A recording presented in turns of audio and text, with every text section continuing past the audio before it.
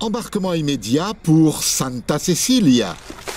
C'est dans cette région de l'extrême nord-est argentin, où les traditions rurales sont encore bien vivaces, que je pars à la rencontre du gaucho.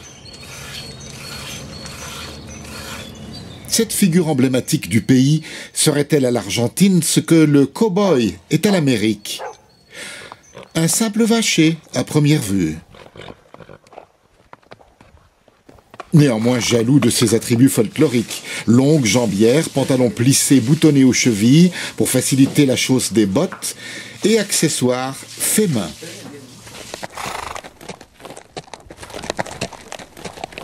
Mission quotidienne, contenir les chevaux à domestiquer, rassembler les bovins sur les 8000 hectares de cette propriété plutôt modeste en comparaison des immenses haciendas argentines. Le gaucho est furieusement carnivore. Pas une journée sans assado, le barbecue du matin, de midi et du soir. Buon appetito